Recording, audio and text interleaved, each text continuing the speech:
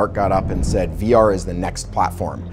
And definitely, suddenly, the world took notice. Every 10 or 15 years, there is a new major platform that comes along. I do think virtual reality is going to be that with augmented reality. So basically now I have a, just turned my mobile phone into a fully simulated million dollar Ivy League laboratory with all this amazing equipment that I can interact with. I can... You feel your way inside of it. It's a machine, but inside of it, it feels like real life. It feels like truth.